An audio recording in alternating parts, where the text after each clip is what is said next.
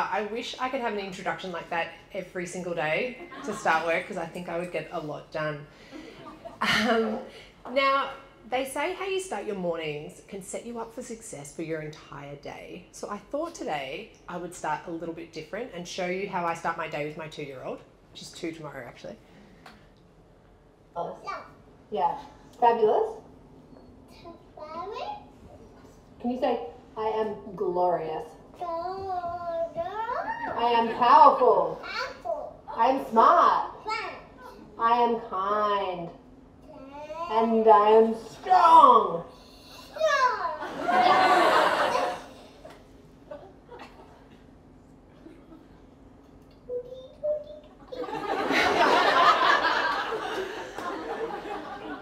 So, with that in mind, can I have everyone stand up for me? And it might be hard for you guys up on the seat, so you might just want to stay seated. And I'm going to run through some affirmations with you. A little bit more adult, less than more than one word. yeah, 100%. Okay, so I am healthy. I am healthy. I am abundant. I am abundant. I am fit and strong. I am fit and strong. I am living in the paradise of my own creation. I am living in the paradise of my own creation. And last but not least, I am creative beyond measure. I am creative beyond measure. Now give me a life affirming Goldie yes. Yes. Yes. Okay, everyone take a seat and let's dive in. Thanks, Goldie. Well done. So, when Nick came to me with the theme treasure, Waggleton, please. Sorry, I'm also unprofessional with my dog. When Nick came to me with the theme treasure, I automatically went to it's you, it's me, it's us as a collective. We are the treasures. But that felt way too easy, way too easy. So I went on a bit of a creative spiral, as I tend to do because I love to overthink things. And what I realized was during those really lengthy periods of time where you feel like the, the universe you know, has you in its clutches with an white knuckling force, it is that same exact force that can turn your coal into diamonds. So today I would like to share a small chapter of my life where my uncomfortable growth has led me to some of my greatest treasures. Um, as Nick said, I'm a producer and director with nearly two decades of experience, and I'm the founder of a photographic and interview series called Wild Femmes. A little about me I grew up on a farm in Kangaroo Ground near the Yarra Valley in Victoria, and my daily life looked a little bit like Yellowstone, but without like all the crime and the murder. and uh, you know, I was never an academic, but I was creative. So this is me playing one half of Dr. Seuss's Cat in the Hat. I sticky taped those spots to my horse. And I feel like if that doesn't show you my earliest industrious nature or creativity, I'm really not sure what else will in this conversation. However, I went through school and much through my parents' disappointment, I was not going to be pursuing a career in farming or agriculture. My dad bred cattle and Clydesdales, and I just didn't see that for me. Um, and like I said, I wasn't academic, and my teachers told me from a really young age that my scores were probably not going to get me into university, and that I should probably aim to get an admin role in a temp agency. And for me, at such a young age, having my career opportunities capped like that felt pretty deflating. And I just, it wasn't for me. So I went straight into the workforce to try and find my place. Um, I realised pretty early on that I would have to remove my education from the front page of my CV. And if there's any HR or headhunters here, I'm really sorry, I hope this isn't insulting. But I could remove the education from the front page of my CV, where I could sometimes, on a rare occasion, get past the interviewer and then rely on my witty charm to woo that manager. Now, one time it worked, and I'll be forever grateful for that. I got the role as a personal assistant to the network EP at Channel 10 in Melbourne.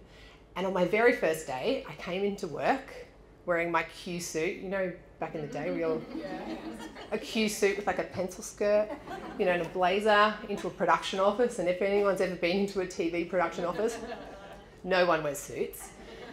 Came in and uh, my boss said to me, Emma, I know you know fuck all about how to make television. And I thought, oh my God. I'm getting sacked like 10 minutes in. This is a record. Like, this is a record.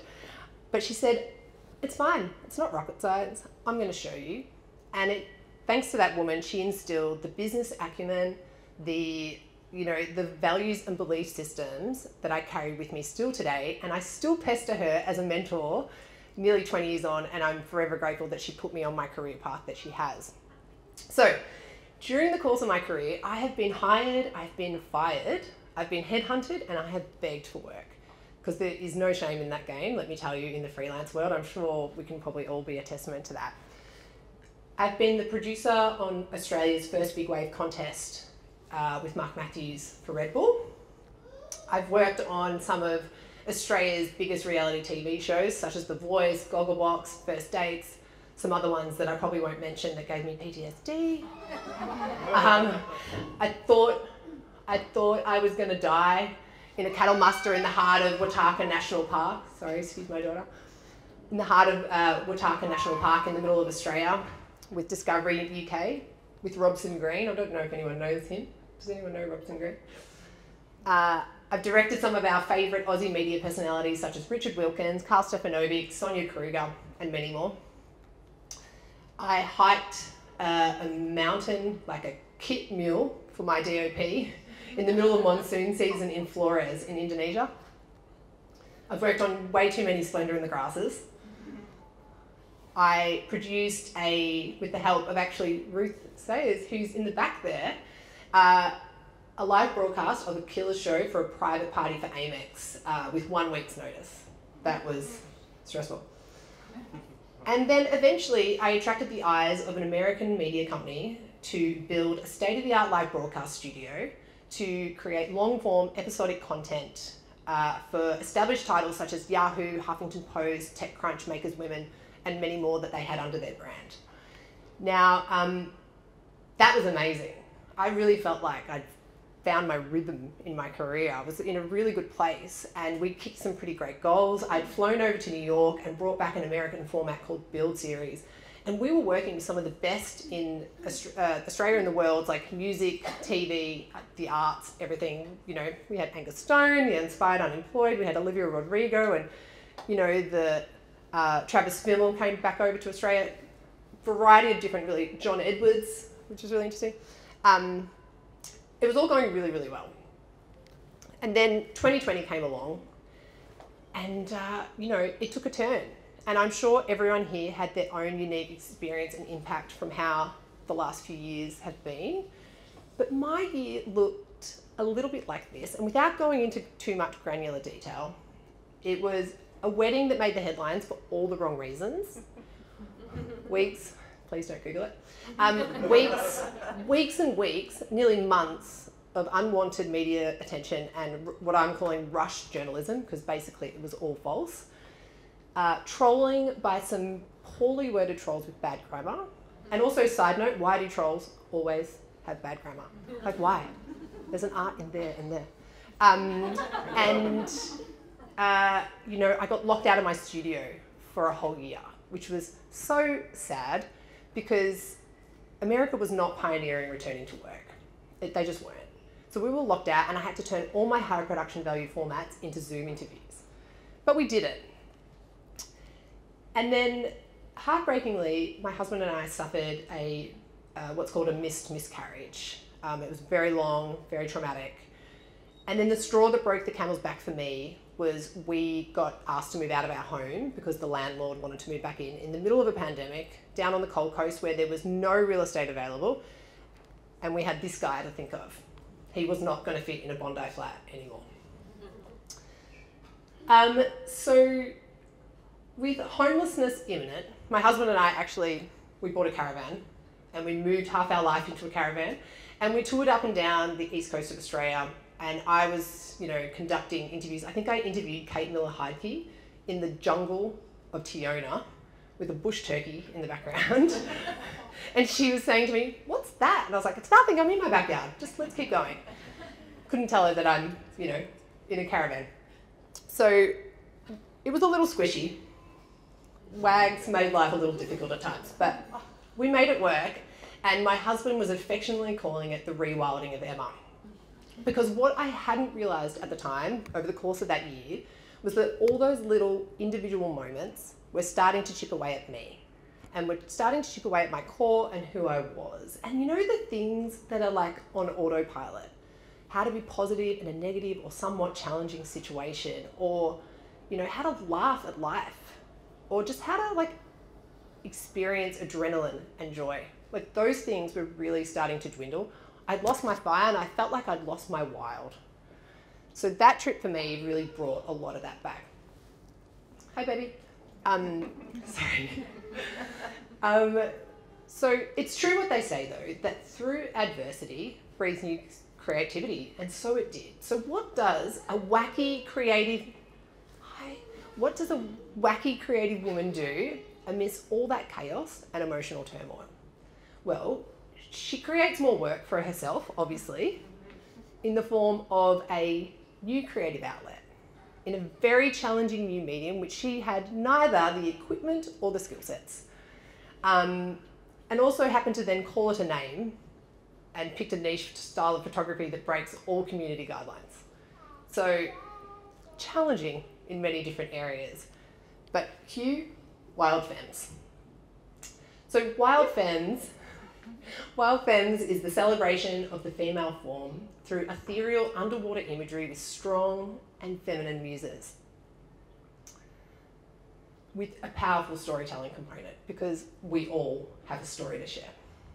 And I'm just going to flick through some of these photos for you, and I hope that they really evoke a sense of calm and a bit of wonder and maybe a little bit of freedom. So when I created Wild Femmes, I'll, I'll, be honest with you, I actually just created it for me. I needed a new creative outlet. I was searching for how to reignite my wild. But I had not anticipated the positive impact and overwhelmingly positive response that I could possibly get. And I'm just going to share a couple of the uh, uh, messages that I received from this. I was conquering my fear of showing my body, and my choice to do do it was about owning my body, body as it is today and not waiting for it to be perfect. Because how many people here say, I'll be happy when? I'm a woman that's been raised to be very much reside in my masculine energy for a large part of my life. Yet M helped me surrender and relax more into the very feminine side of my soul and a part that I'm working on every single day to balance with my masculine. And now this one is a little bit heavy, but I felt like it was really worth sharing with a series of life dealing cards, good and bad, from sexual assault to diagnosed endometriosis to self bullying, equating to fad diets and exercise programs. The stories I told myself about myself reflected in what I saw in the mirror. Meeting Emma came at a time where I was turning a corner and rewriting the narrative of my own self body image. She and Wild Femmes was part of that healing journey. Like, I didn't realize I could have that impact. And what better fuel to keep me driving and to keep me going forward. This also opened up the doors.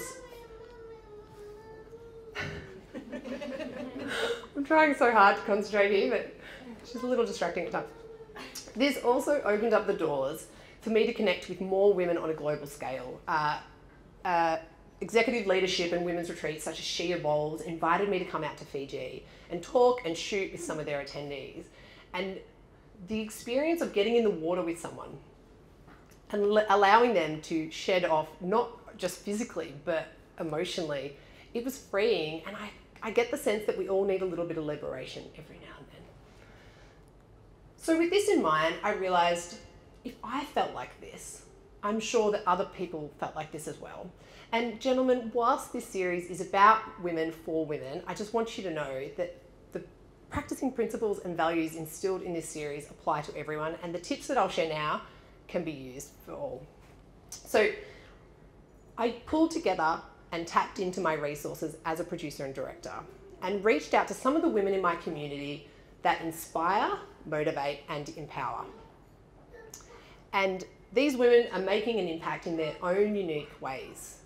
And I think it's glorious. Like they are just trying to thrive and they're staying in their lane and it's beautiful.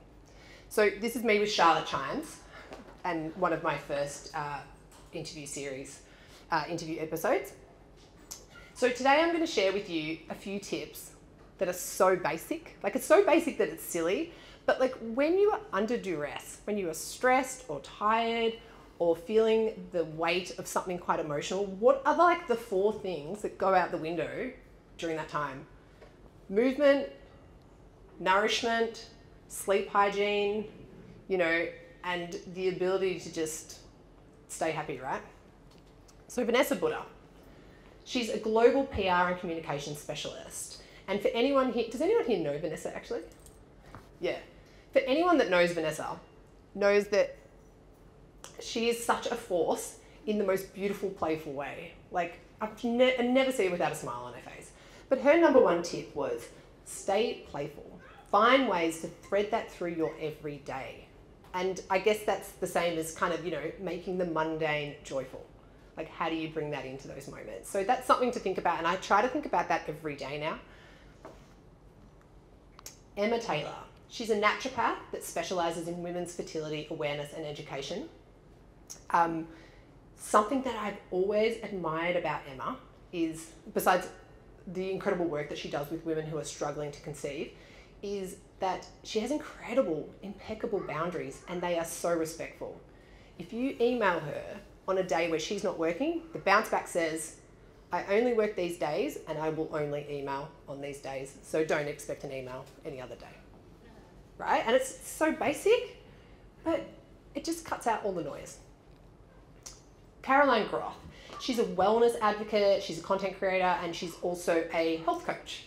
Um, she speaks very vulnerably about many aspects of her life disordered eating, her gut health, and her healing journeys, um, you know, her relationships. She shares it all, and I really respect that aspect of her. But she said, and I think this is really key, it is don't speed track your healing. If there is work to be done, do it properly. And I, I hate the term work. Like, I hate the term work. It makes it seem like it's bad or something. But you just got to do it because those things will keep popping up if you don't deal with them now. Wow, Zoe Condliffe. This woman, if you don't know who she is, I highly recommend you follow her because she is someone who is going to make an impact on the world. She is the founder and CEO of She's a Crowd. Um, it is the, I never say this right, largest geospatial data mapping tool to, with the sole mission to end gender-based violence it's truly incredible. And she's almost created like a circular healing where people share their unfortunate experiences, but it, like it's like a weight lifts off them. So they're helping other people not get hurt and they're healing themselves at the same time. Charlotte Chimes. She's an actress, she's a producer and writer. You might know her as Nicolette Stone of Neighbours if we have any fans here today. she something that I love about Charlotte, and if anyone here knows her, she is so authentically herself. In email, on the phone, on set, working with me as a producer, like whatever aspect it is, she is just authentic. So she said, stay true to yourself and authentically who you are. The weight of trying to be someone you're not can be overwhelming. And it's true. Dr. Olivia Lessler. Now, I have a bit of a, my husband knows this, I have a bit of a crush on her because I actually met her through my husband's charity Skin Check Champions. She was doing skin checks for him. Um, but she is one of Australia's best functional medicine doctors. She specialises in psychoneuroimmunology, biohacking, sleep hygiene, uh, chronic illnesses and mystery, sorry, chronic diseases and mystery illnesses. You know, she's really, truly a rare phenomenon. But for her, it's about staying connected. She said, don't lose touch. And that's one of the things we also forget to do when we're having hard times, is that we forget to stay connected to our communities like this. So I think this year alone, she's, she's spoken at and been to maybe 30 conferences around the world because she just loves it. It feeds her soul. And it's good that you understand what does. Leah Simmons. She's the founder of Kaya Training and often a trainer to celebrities and high profile people around Australia. Now, you would assume someone who specializes in meditation and breathwork and yoga and all these different things for them to be so zen like and to have like these impeccable morning routines. But she's just like you and me you know? She's got kids. Some days it's daycare drop off some days she's you know sleeping in. Some days she's doing a class. So like she said if an opportunity presents itself say yes. Don't be so rigid in an outcome because sometimes it might work in your favor Sophie Marshall. Now, has anyone here heard of This Is Incense?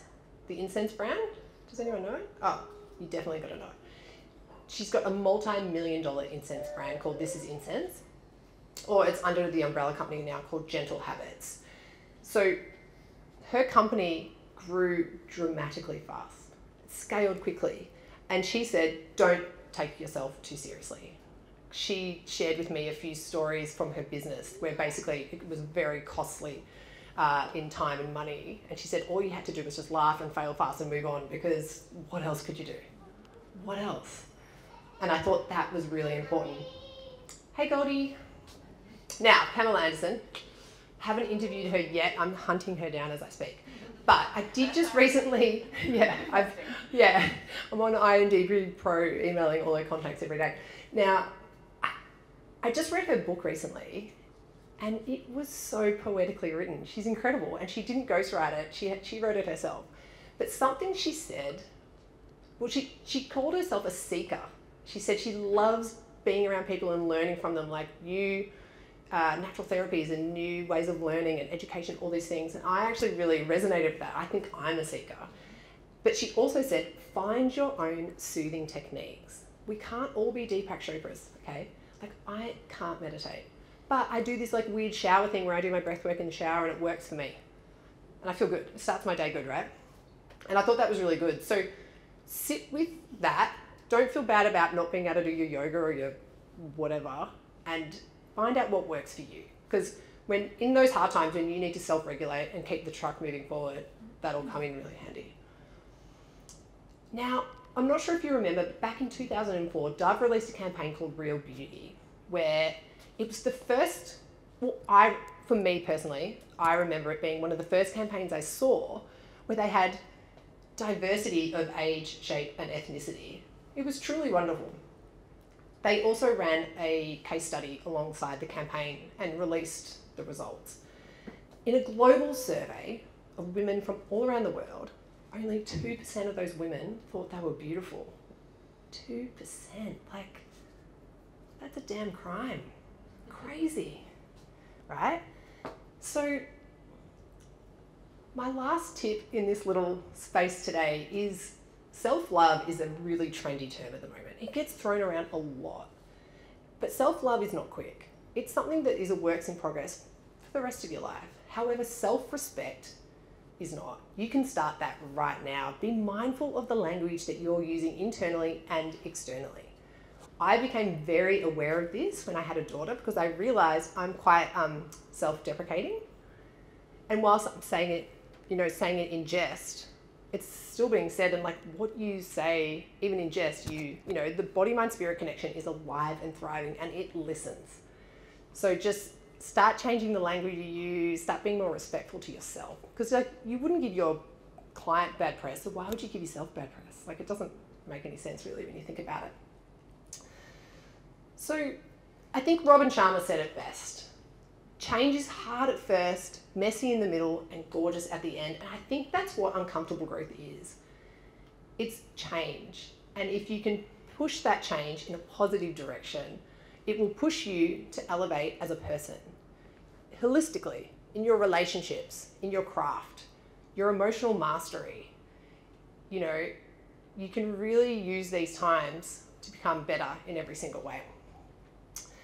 Um, I just wanted to share this photo. So it's me looking like a whale actually. It's like not being mean to myself, but just quite big. I was about 39 weeks pregnant here and I had my last shoot before I was giving birth.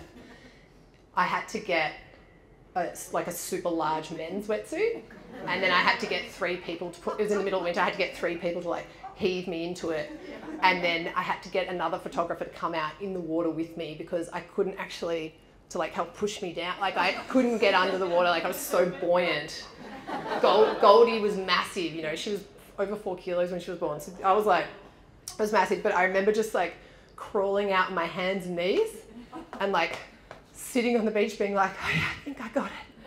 I think I got it. And everyone, they took that photo of me. I cropped it a bit because everyone was quite naked in the background. But I really think that's a photo for me that symbolises what Wild Femmes is about. Like the whole community had to come together to a get the shots, be in the shots, and then help me like get underwater to take the shots. And I really think that's a really nice moment. So what is next for me in Wild Femmes? Well, on Tuesday, I actually leave for Montenegro, which I've never been before. Super excited. I'm going to be shooting at, I'm the photographer in residence at a retreat called the Samudra Collective. And the retreat is called She and the Sea, and it's all about women's connection to water. And they reached out to me, and I just, it felt like simpatico. Um, I'm in pre-production now for season two, so I'm currently casting for that and I'm working on some really special editorial features that are going to be coming out towards the end of this year. Now, if you would like to follow the journey or reach out and connect with me, I would love to hear from you. I love chatting with everyone and creating new creative outlets and opportunities. And in summary, what I would like to say is I hope that you find your wild and I hope that you find your treasures through any stage of life and this is where my year of uncomfortable growth really did lead me to some to some beautiful times because I have Wild Femmes. I get to connect with inspiring women every single day, whether in the water or out. And also, I have my beautiful baby girl after having a miscarriage. And now I'm creating the life by design that I've dreamt of. You know, you have those moments where you go, wow, I actually manifested this. Like I asked for this. I didn't ask for it like this, but I asked for it and it's happening. So I hope that you all find your wild and your treasures too. So thank you so much.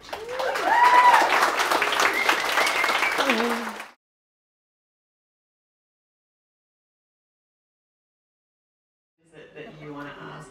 I'm just like, um, I guess like something for all of us. This I sometimes you have these thoughts of like, oh, I'd love to be a like, and it's some other creative medium that you mm. don't currently do.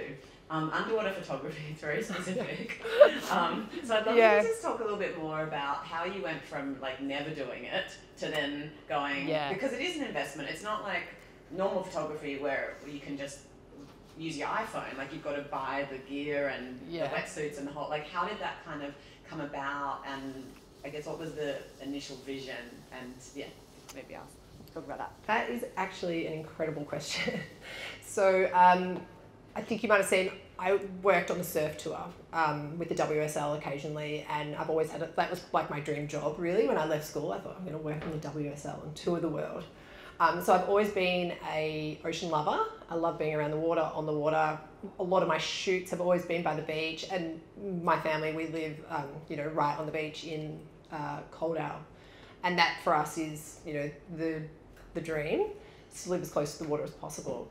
Um, so, given that I have worked with some really experienced DOPs um, and photographers in the creative space, you know, with water, um, I always had a love for it, and I, I actually contemplated doing surf photography, if I'm being completely honest with you, but I don't like getting dumped. and sitting in the channel of a 20 foot slab doesn't really inspire me anymore. So, um, much to my husband's disappointment, because he really loves surfing, he'd probably love that. Um, but one of my friends who I've been mentoring since she was 16, she's 24 now, um, Shannon Glasson, I highly recommend you follow Shannon Glasson. So, she uh, was born with her legs facing backwards and she didn't walk till she was five years old. She had like 13 operations. And they gave her a camera and put her in the water. And so now, by the time she was 16, she was shooting the biggest waves I've ever seen in my life. Um, and her photography is out of this world. So I've been mentoring her for many years. So eventually one day I just said, okay, it's time for this to change. Like, you're going to start mentoring me. And so she took me in the water and we used her kit for the first little while. And luckily, Scotty is very supportive of my um, wacky creative ideas when they come about. So um, yeah, so I was just heavily relying on Shannon to sort of teach me the ropes. Like, I mean, it's probably worth saying I'm not a trained photographer. I'm self-taught in that space, and I've just asked a lot of questions. So once I felt really comfortable with Shannon's gear, and she she was comfortable with like letting me use it, you know, without flooding it. Um, I then just invested in my own kit, and that's a slow process. And I think it's you know you don't have to have the whole you know obviously you need the water housing, but you don't have to have all the most expensive uh, equipment straight off the bat. Um, like uh, AquaTech actually make this thing called an Axis Go that can go over your phone, and that thing takes a great photo. Like my first couple of chapters in the Wild Femmes, when it started, it was just chapters, and the first couple of chapters I shot just on my phone, and that was that was amazing. So um, I think you just have to start. I think that's the point, really. Is like you don't have to be perfect; you just have to start. And then when you feel like it has legs, you can keep pursuing it. And I started to realize very quickly from the response that yeah, I think I was onto something, and I should trust my gut with this one because you know, uh, oh, that's actually what I didn't say about Zoe. So that's actually her tip. I actually just talked about it, but didn't give her tip. So basically, she relies on intuitive business. Like she's a CEO in a tech startup space, but she relies on intuitive business because she thinks that your intuition is your learned experience and that we need to connect to that and trust it more. So I think in the creative space, that's really important because you can have a lot of people telling you what to do. You can be influenced by a lot of people on Instagram. You know, there's so much, you're flooded with stuff. But I think it's really important to know in your gut, you're like, I think this is good. I think I should run with it and I think it's worth pursuing and investing in. Um, yeah, but underwater photography is quite expensive, but I'm still building out my kits. I've got two kids now, but yeah, still building it. So.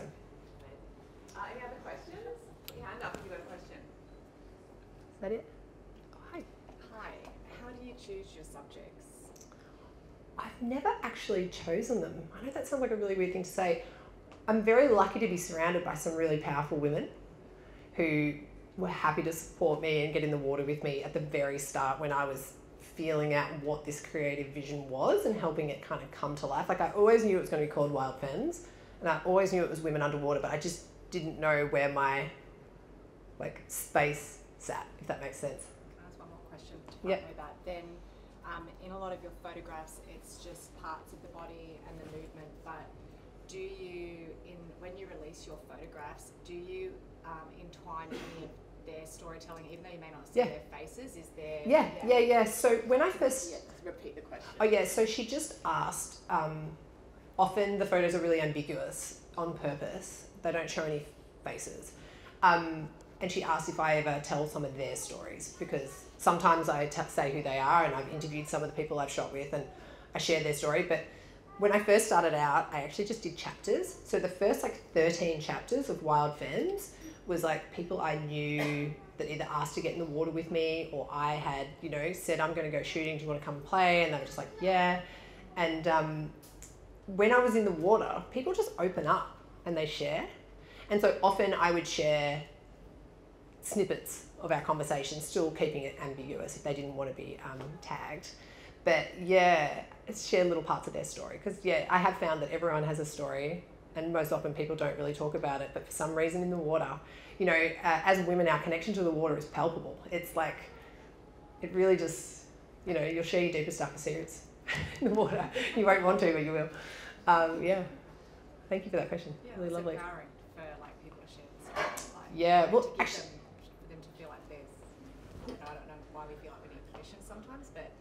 Hundred percent. Well, when I was in Fiji just recently, I had a couple of women come up to me and like hug me. I haven't shot with them, but I got off stage and they hugged me and were crying. And I know it sounds really stupid, but like I, I knew that the work I was trying to do, I wanted it to be meaningful and impactful. But I really didn't realize it would have, like, I wasn't anticipating that much impact and a woman who'd had a double mastectomy with breast and is still kind of in recovery from her breast cancer hugged me and just was like the work you're doing it's amazing. Like i can't wait to shoot with you. Because like she felt like she wasn't sexy anymore. You know we apply these kind of characteristics to features and it's really about your soul. Um, another woman was going through like a very sort of scary divorce and was feeling just like the walls were caving in on her. And she said she just got in the water and it just like it felt good to just get it off her chest and just let it all out. So, and it, a lot of times you might not even realize you're at like a transition or a precipice, and in the water it just becomes a bit easier to let like loosen it up a little bit. So, yeah, it's a really beautiful experience. So, any other questions? Oh yeah. Oh. Yeah.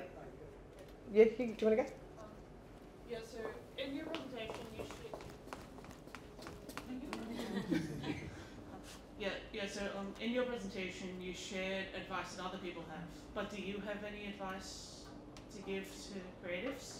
Oh yeah. Or She's giving a lot. I can share more. Um, in relation to how to find my wild or how to be a creative, or either. Um, yeah, I think as a I will give you one piece of advice, and I've spoken about this. Sorry, I mentioned my husband a lot, but we work from home together, so it's we bounce off each other a lot.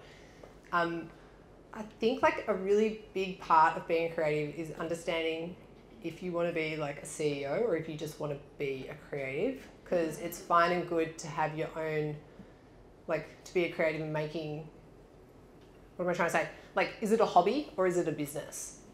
See, Wild Femme sits in this weird space of it started out as a creative outlet, but it's growing in that direction. But I'm I'm asking myself, do I want to be a CEO? Because as a CEO, those incredible, amazing days are like few and far between the actual exciting work that you do, right? So you need to ask yourself, do I want to do that? Do I want to do that? I'm not sure. Yeah. Um, in regards to finding my wild, okay, so this actually, I must recommend everyone do this. So I really had to ask myself, what was the life I was trying to create? Like, what was I, what was this life by design that I had envisioned? Because if you don't even know what that is, you're kind of just swimming around in circles. So, like, excuse all the analogies in relation to water. I didn't actually plan that.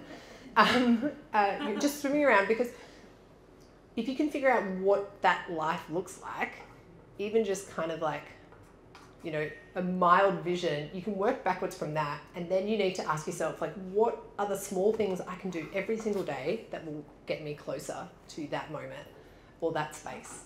And I think that really helped me because, and that helped me with this, the, you know, the whole like, you know, what can I do today? Like, I've got to do a whole heap of boring stuff, but how can I make that fun and more joyful towards other things that I'm trying to work towards? So, yeah, that's probably my two tips for today. What was your question, sorry? Um, you spoke a bit about getting your photography business off the ground, which is really amazing. But Thank you. also, um, you know, getting a podcast series off the ground is also no small undertaking. Yeah. So I'm just wondering how that process was, getting it off the ground, and um, how did you go about recording the first season? I'm really good at being busy. So, like, and I think maybe just um, as a producer, uh, and this is probably something that I'm slowly letting go of a little bit, but the hustle lives strong and deep inside you, and being able to turn things around really quickly. But I am I'm really fortunate that I have a collective of brilliant creatives that I've got great relationships with. So when I decided that I wanted to do the podcast, I know my wheelhouse. I'm not editing that. I'm not doing that. You know, I'm not doing that. And you know, when I built the website, I'm not building the website. Like I remember I was like I had just had Goldie. It was like five weeks, ten weeks after having Goldie, and I literally was holding money going, make my website. You like you make my website. And they were like, it's so easy and you just do it yourself. And I was like, I don't want to do it myself. just, just take my fucking money. I don't want to do it. Um, so I actually reached out to a brilliant uh, video editor, Jonathan Martin, who I've worked with for a few years now, um, who is incredibly well nuanced in like minority areas, and he, he has become almost like a co-producer because I'm very close to the project. I hate hearing no and negative feedback. So when you're producing your own work and you and yourself as the talent, it's kind of it's a bit foolish actually. So it was really nice to have Jonathan come in who can really clearly go and also yeah, I hate cutting stuff out. Like I want to leave it all in, right? And he's like, no. All of that that half an hour has to go. You know, like so he just comes in and he's brutally just like chops it all up. Um, so we work really well together. So I think um, finding your people is really great. Um, so Jonathan has been such an incredible support for me. So we work really well together. But I can't, I do it on my own timeline. Like who says I have to do it every Thursday? So like I kind of have a goal of like every two weeks. Once I once I launch, it's like every two weeks. But if I miss a week, it's I'm I'm not going to get angry at myself. So I think um, the photography, yeah, I think you just you just start. Like it doesn't have to be perfect to start either. And the like the beauty of something like a podcast is like the more you do, the more people will find you. Because if you only do 10, I've only got 10 in there right now, but like I need to build that catalogue so that I do become more discoverable. I'm definitely not a podcast producer, or that's definitely not my space, but I'm an interviewer. I've been interviewing people for nearly 20 years. Like I'm good at that. So I think I just sort of applied my strengths in my wheelhouse and just joined them with Jono, who can pull it all together for me. So I'm lucky in that regard, though. Yeah. That's all we have Yeah. time for, guys. Um, another huge round of applause. Thank you. Thank you so much.